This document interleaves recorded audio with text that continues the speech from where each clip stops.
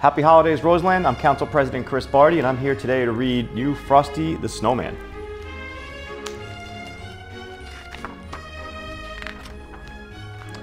It all started with the snow, the first snow of the season. As every child knows, there's a certain magic to the very first snow. And when it falls on the first on the day before Christmas, something wonderful is bound to happen. Children, back to your seats, called the teacher. The snow can wait. I've hired Professor Hinkle, the magician, to entertain us for our Christmas party. Unfortunately, Professor Hinkle was just about the worst magician in the world. And so I put the eggs into my magic hat, said Professor Hinkle. Abracadabra, and voila, the eggs have turned into a mess. Where is my rabbit? Hocus Pocus, where are you? He didn't know that his rabbit, Hocus Pocus, was hiding in the hat. The only thing that, this hat is good for is the trash can, said Professor Hinkle. But that the hat didn't stay there for long. The hat, with Hocus Pocus underneath, hopped out of the trash can and out the door. That's when the bell rang. The children were free for the whole Christmas holiday. Hey, look at the snow, cried the children as they ran outside. They worked together to build the first snowman of the season. Once the children had given him eyes, a nose, and a mouth, it was time to name him. How about Frosty? asked Karen. Frosty the Snowman. The children began to sing. Frosty the Snowman was a jolly happy soul with a corncob pipe and a button nose and two eyes made out of coal.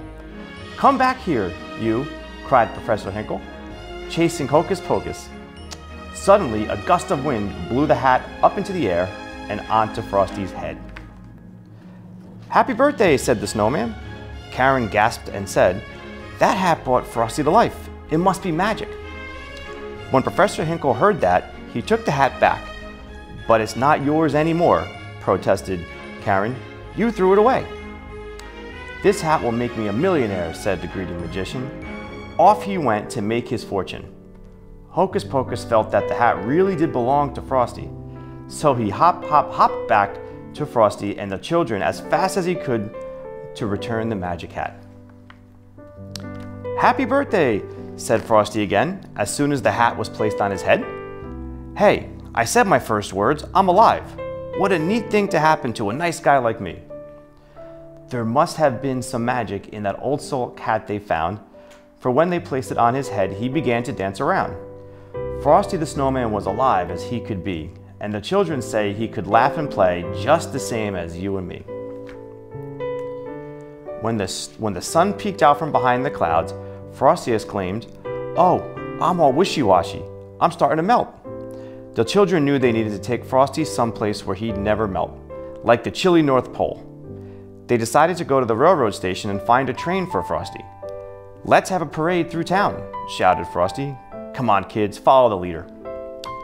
All too soon, it was time for the train and Frosty to leave. I'll go with you, Frosty, said Karen. I'm sure I'll be back in time for supper. Karen, Frosty, and Hocus Pocus jumped into a refrigerated boxcar on a freight train headed north. No one saw Professor Hinkle seek, sneak under the train car and hold on.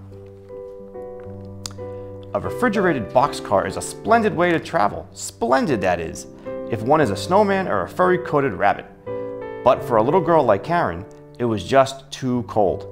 So when the little freight train made a quick stop, Frosty got them all out. No one saw Professor Hinkle jump off too. Frosty took Karen and Hocus Pocus to a wooded glen, where they found the animals decorating the trees for their big celebration. They knew Santa Claus was to come that night. After Hocus Pocus spoke to the animals, they agreed to build a campfire to keep Karen warm. But it didn't take long for Professor Hinkle to catch up with the friends. Get on my shoulders, Karen, cried Frosty. Frosty, since he was made of snow, was the fastest belly whopper in the world. Soon he and Karen were sliding down a hill, leaving that greedy Professor Hinkle far behind. At the bottom of the hill was a tiny greenhouse for growing tropical poinsettias for Christmas. It was the perfect place for Karen to stay warm. But Frosty, you'll melt in here, said Karen. I'll only stay inside for a minute, Frosty assured her. But that nasty Professor Hinkle once again caught up with them and locked the door, trapping the friends inside. That night, Hocus Pocus led Santa Claus to the greenhouse to save Frosty. But by then, poor Frosty had melted completely. Don't cry, Karen, said Santa kindly. Frosty's not gone for good. He was made out of Christmas snow. You can bet your boots that when a good, jolly December wind kisses it, it'll turn into Christmas snow all over again. Just watch. Santa opened the door, and when the wind whirled in and out, Frosty was back. Santa was about to place the magic hat on Frosty's head when Professor Hinkle shouted, I want that hat, and I want it now. Santa replied, If you touch this hat, I'll never bring you another Christmas present. Go home right now and write, I am very sorry for what I did to Frosty a hundred zillion times then maybe, just maybe, you'll find something in your stocking tomorrow morning.